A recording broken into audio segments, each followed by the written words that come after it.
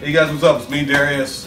I'm here in Australia playing the big country music festival, but I'm really excited to announce that I talked to my boys, Mark, Dean, and Soni, and we decided that we're gonna have a good time with Jason Aldean at SunTrust Park on July 21st. I can't wait. It's one night only. We're getting back. To, we're getting the band back together to play with Jason, so it's gonna be a great time. So I'll see you guys there. Come on out.